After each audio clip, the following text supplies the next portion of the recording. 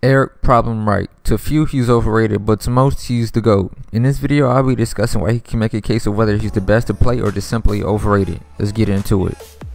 Problem has played in many Madden tournaments and has won up to 250 to around roughly $400,000 just from playing Madden. He's one of the best, if not the best, Madden competitors in the world. Even though he hasn't won a Madden challenge since Madden 25, some people still regard him as the best. I'm sure most people consider him the GOAT because of his dominance on the sticks. Problem has won more games than he's ever lost. I'm pretty sure if anybody was keeping track of his win-loss record, it would probably be the best in the Madden community history. Now, I can see why some people think of him as overrated. He hasn't won any major tournaments, but he hasn't had anything to win. Lately, since Madden has slowly become an esport and Madden 16 is where it all began, since then, we have seen two different winners since Madden became an esport. Problem has came up short in each of those tournaments. One of the winners met Problem in the finals and simply outplayed him. For a person such as Stiff to take out Problem is just impressive. Stiff just had been playing competitively for three years prior to winning the championship. And the winner of the other Madden tournament was Serious Mo. Problem lost the skin in this tournament, but if you know anything about Problem, is that you know he will place in the top 4 if anything.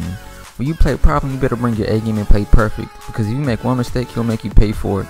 Serious Mo just had been playing Madden full time for three years and just recently been living in his mom's basement prior to winning the Madden Championship.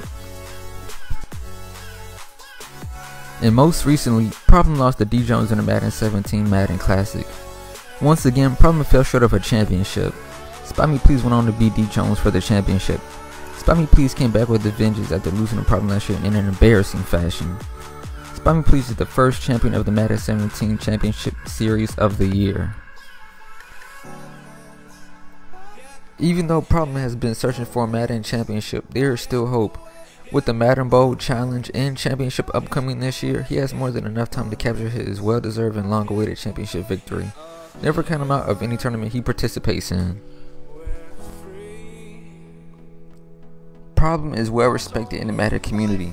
Since his first major Madden Championship victory on Madden Nation 2007 playing Madden 08, he is the only relevant player on the show to still dominate. When's the last time you heard anybody from Madden Nation to still play? Personally, I've probably only heard Jet Steele, Young Nephew, and Secret. With two of them being former Madden Nation winners and Secret and Young Nephew, they just haven't been as dominant as Problem in years past. Whether or not you think Problem is the GOAT or not, hopefully you get the point I've made. I hope you guys enjoyed this video. If you guys want more videos like this, suggest them in the comments below. Without further ado, I hope you guys enjoyed this highlight reel of Problem in Madden 17.